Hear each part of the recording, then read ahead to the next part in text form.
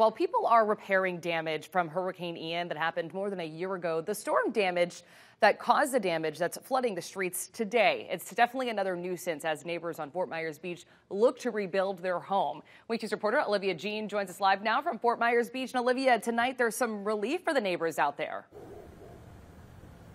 Absolutely, there is some relief the people that I've spoken to on Fort Myers Beach say they are upset that this project didn't happen sooner. One woman that lives on this street told me that it's normal to see a foot of water when it rains. Rain, rain, go away, they say, but not for everyone on Fort Myers Beach. Heavy rains or a surge, even a light surge, our entire street will flood from Sterling to Seminole Way. And what I'm told is that we're one of the lowest parts on the island, so it's really bad for us. It could be a big storm, and this area all through here is always just flooded.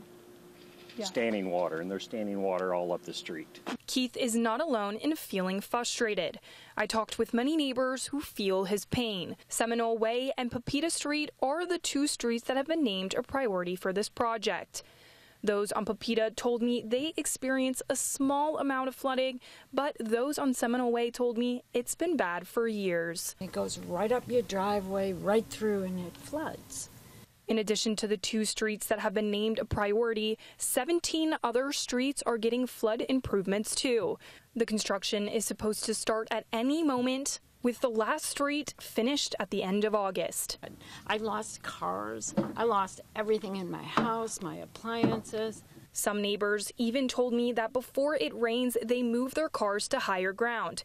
Carol told me her and her neighbors have been speaking out about this issue for years. Whole last year and the year before, no one ever came down Sterling or Seminole, so it kept skipping our streets that's when I started like going to town meetings and like, hey, what about us? No one's come down here. And she said, I'm so happy, but I'll believe it when it happens because only because they tell you one thing and it just never happens. Yeah. So when it happens, I'll believe it when it happens. All right. You can see some of the damage right here, and it hasn't rained for a couple of days. There's some perspective for you. Construction trucks are going to be filling up these streets pretty soon. If you want a full list of the approved streets for this project, visit winknews.com. Live in Fort Myers Beach, I'm Olivia Jean, Wink News.